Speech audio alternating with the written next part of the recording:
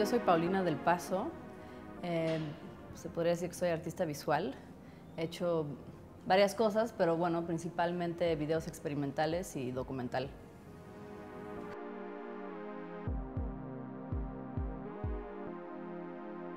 después de haber hecho un documental y tener abandonado tanto tiempo lo experimental, sentí esa necesidad y ganas de, de regresar. Aparte que lo que me ha permitido a mí lo experimental es tener un terreno de mucha libertad, libertad creativa, eh, no, sin restricciones económicas, eh, donde yo resuelvo todo, ¿no? donde soy básicamente yo frente a la computadora, sacando mis ideas, haciéndolas. Y ese terreno es un terreno muy valioso. Eh, me encanta el cine, me encanta el documental, pero son ambientes o ámbitos donde necesitas pues, un trabajo en equipo, necesitas cierto presupuesto, tiempo, colaboradores, lo cual es muy rico, pero pues es, es diferente. Entonces el video experimental lo que a mí me ha permitido es, es esa libertad de hacer lo que yo quiera y también de luego apropiarme de, de materiales y, este, y jugar y explorar otras cosas. También con los nuevos videos que estoy haciendo ahorita, me interesaba en particular eh, explorar el mundo de la televisión. Entonces para eso, pues la cuestión era, o sea, no, no, no, detrás de cámaras, no ir a entrevistar a los actores, o, sino como agarrar el material propio de la televisión y jugar con ese material.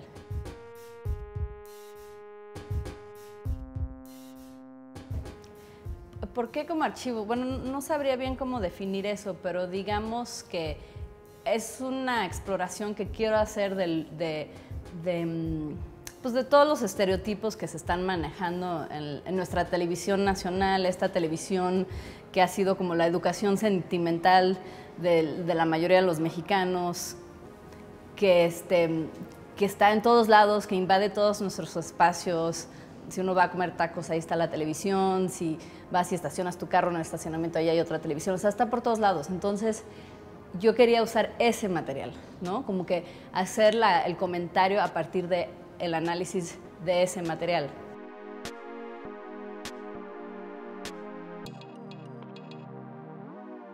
Bueno, yo ya había hecho, me parece que en el 2001, em, un video que se llamó Invasión Doméstica, que era también apropiándome imágenes de, la televisión.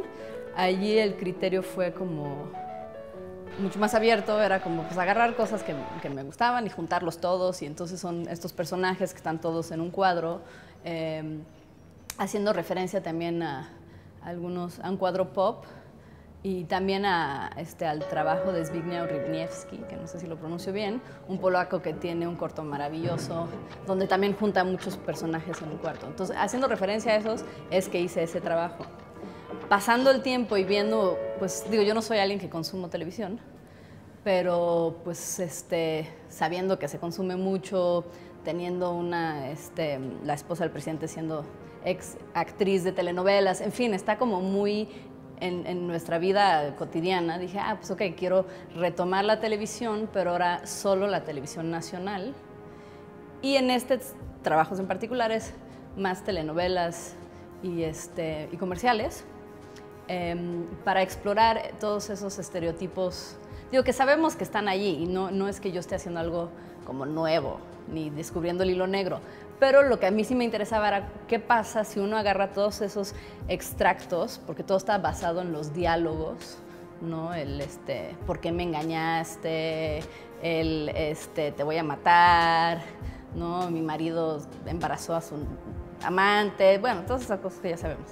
Pero ¿qué pasa cuando todos esos discursos vacíos, este, dramáticos, bueno, melodramáticos, los juntas al mismo tiempo generas como un caos y una sensación de, agobio y de saturación, que eso es lo que a mí me interesaba, ¿no? Como cómo resumir todo eso en, como en, algo más corto donde todo está sucediendo al mismo tiempo, según yo con la intención de sí generar una reacción en quien lo vea. La idea es que van a ser ocho videos.